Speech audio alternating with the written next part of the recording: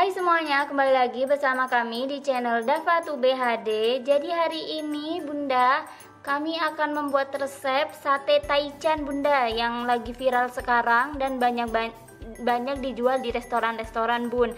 Jadi ini sate tapi nggak pakai bumbu kacang dan kecap. Ala-ala Cina gitu ya Bun, namanya aja juga taichan. Nah, untuk resepnya apa saja Bunda bisa langsung klik video ini dan tonton sampai habis. Tapi sebelum ke videonya, jangan lupa klik tombol subscribe, like video ini, dan di komentar ya bunda, komentar yang positif. Selanjutnya untuk bahan-bahannya kita lihat apa saja bahan-bahannya. Oke bunda, untuk bahan-bahannya di sini saya pakai daging ayam. Daging ayamnya terserah bunda ya mau pakai berapa gram. Selanjutnya untuk sausnya saya pakai bawang putih, bawang merah, cabai besar cabai rawit terserah bunda ya untuk ukurannya berapa. Kemudian ini ada penyedap rasa ada garam lada bubuk dan jeruk nipis. Oke bun step pertama ini sudah saya cuci ya ayamnya. Kemudian ayamnya dipotong-potong dadu seperti biasa kalau bunda mau bikin sate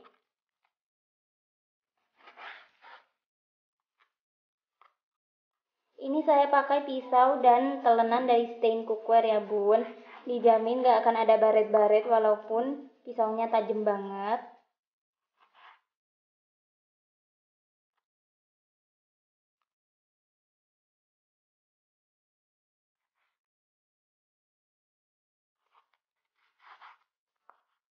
Ini ayamnya sudah saya potong dadu, kemudian saya masukkan ke mangkok. Kita marinasi dulu pakai garam, Bun. Pakainya sebanyak secukupnya. Tergantung ayam yang bunda marinasi ya. Kalau ayamnya banyak garamnya juga banyak bun. Kemudian di sini saya juga kasih sedikit micin ya untuk penyedap rasa. Kemudian setelah itu ini ada lada bubuk. Dan yang terakhir kita beri perasan jeruk nipis agar tidak amis ya bun dagingnya agar enak gitu Ini sudah saya diamkan ya bun selama 10 menit. Langsung aja kita tusuk-tusuk pakai tusuk sate. Tusuk-tusuknya seperti biasa kalau bunda bikin sate. Nggak ada perbedaan.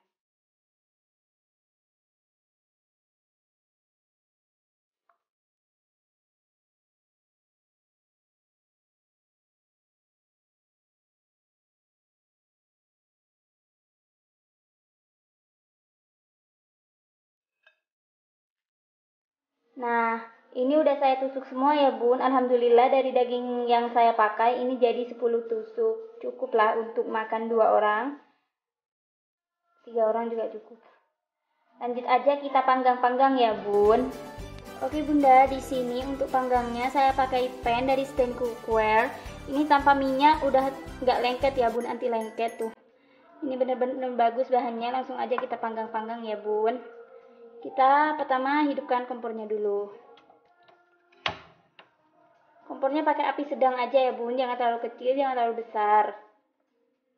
Oke bunda, kalau sudah panas langsung aja kita panggang. Ini tanpa minyak beneran ya bun, karena pennya anti lengket.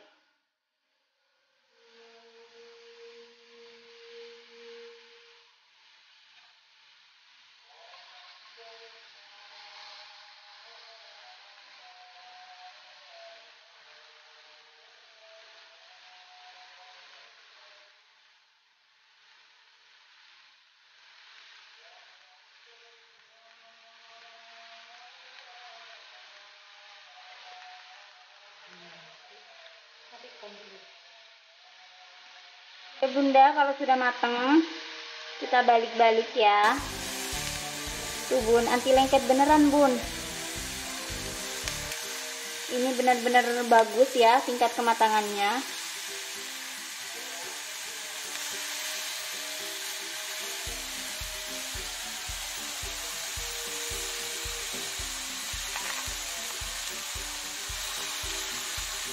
bunda kalau sudah mateng kita balik-balik ya.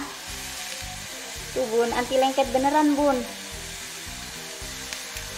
Ini benar-benar bagus ya tingkat kematangannya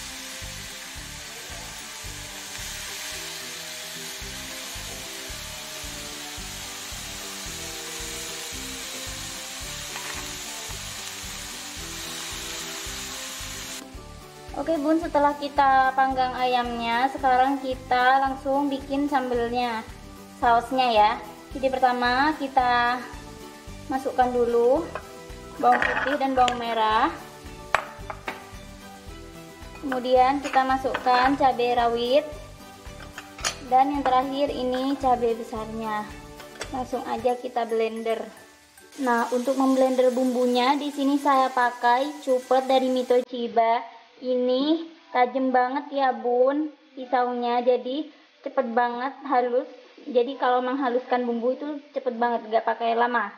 Jadi untuk bunda yang pengen bisa langsung di order di link di bawah ya bun. Langsung aja kita blender.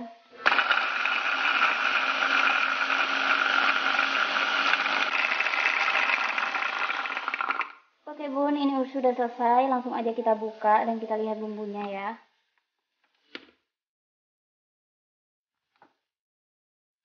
Tuh, bener-bener halus ya bun. Langsung aja kita tumis. Ini saya mau tumis bumbunya. Ini sudah ada pan dari stand cookware dan saya juga beri minyak sedikit ya. Langsung aja kita masukkan bumbunya.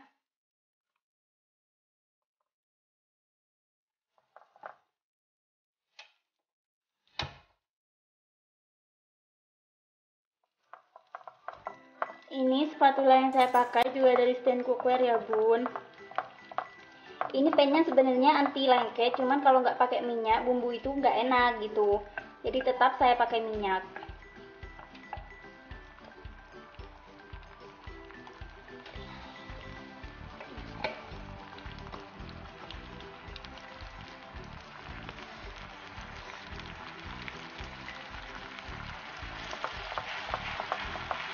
kita tunggu sampai warnanya berubah dan bumbunya matang ya baru kita masukkan air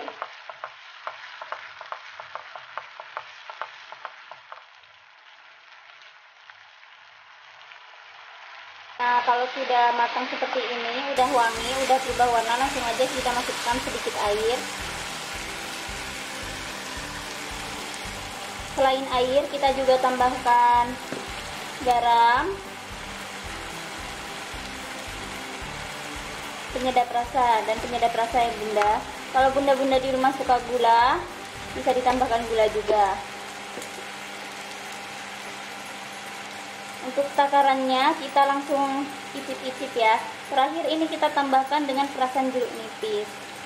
Nah setelah hampir matang nanti langsung aja bunda icip-icip. Maksudnya dirasa-rasa biar pas rasanya. Jadi kalau kurang garam ditambah garam. Kalau kurang penyedap rasa ditambah penyedap rasa kita tunggu aja sampai airnya habis ya bun Tarang, ini dia hasilnya sate taichan buatan saya.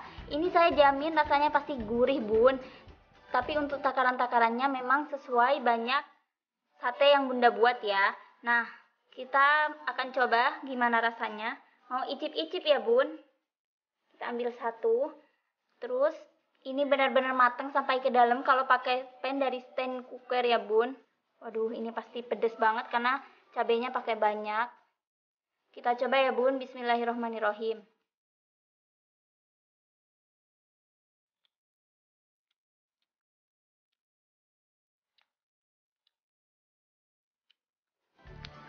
Waduh, ini pedes ya bun. Bisa bunda lihat tadi saya pakai cabenya banyak banget, apalagi itu cabai rawit rasanya enak, pedas, gurih, dan manis. Ini dimakan pakai nasi panas aja udah enak banget bun. Jadi bunda-bunda bisa coba. Bahan-bahannya simple dan pasti ada di rumah bunda.